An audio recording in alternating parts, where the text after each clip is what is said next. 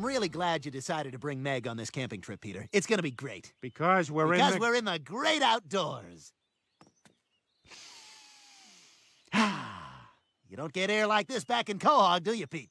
Uh, I don't know. Some places, probably. Hooah! Gosh, being in nature gives me such great energy. Hey, Courtney, you ever see a yellow-headed warbler? That's the only warbler I haven't seen. Not for long, it's not. Don't answer that. We're eating. They're probably eating.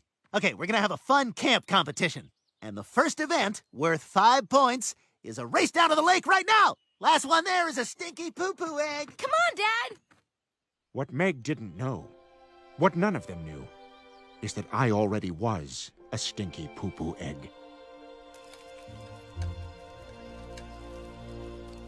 Boy, you don't get stars like this back in Quahog, do you, Pete? Stop calling me Pete. I know what'll cheer you up. Skits! Skit, skit, skit, skit, skit, skit, skit, skit, skit, skit, skit, skit, skit, skit, skits! Skits! Well, isn't this a perfect bench for a sit? Say, Dad, what are you doing? Oh, just sitting on the invisible bench, reading about those North Korea jokesters. But, Dad, they moved the invisible bench last week. it's over there now. Whoa! Ladies and gentlemen, the invisible bench skip. Peter, you're up. Okay, here's one. I call it the invisible noose. First, I throw a rope over this tree limb, put the noose around my neck. Now I'll just step onto this rock and jump off into the sweet relief of death.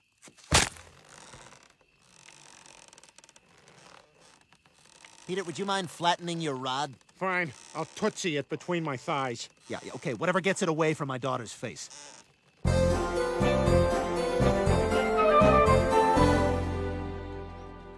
Are you eating an apple with a knife? God, that's always so forced.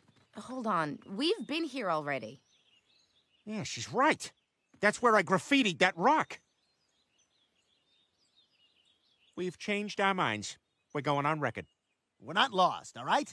We're just two dads bonding with our daughters, and getting lost is not part of the plan. All right, nobody panic. We just need to get our bearings. Hey, here comes a hiker. Excuse me, sir. We're lost. Ha! Then you must be my car keys, right? it is so nice to get out of the city and meet friendly people. You're not helping, Dad, as usual. Well, at least I didn't get us lost. We're not lost. We're just two dads in the woods who love our daughters very, very much. Okay, so maybe it's not the life we chose. Well, you chose it. I didn't. That's for damn sure. Dad, will you help him? Shh, I've been waiting for this. I knew it was fake. Dad, I'm sorry. I didn't. I'm not Dad. I'm Quagmire. Glenn Quagmire. Giggity giggity. I don't want to be out here. I hate camping. And what the hell was the theme of that stupid prom? All the cups said, oh, what a night. I mean, if it was oh, what a night with a K, that would have made some sense, because there was a suit of armor there. What was that about? Answer me! I... I think it's possible to overthink these things. Ugh, what a mishmash. Damn it, I just want to be home. Not here, lost in the woods, looking at this stupid map with a magnifying glass. Ah!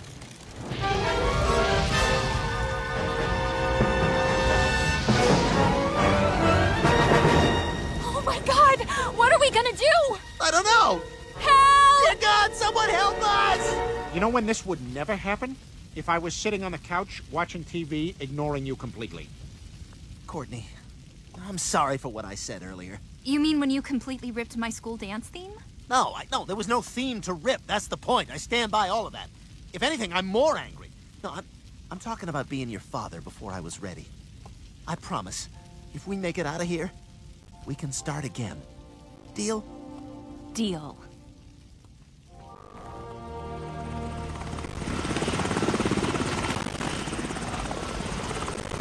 Nine Eleven! Boston Strong! Oh, it's Smitty! We're safe! But we should warn the birds the fire's coming. coming. All right, stay calm. Grab the pictures. I'll get your mother's ashes.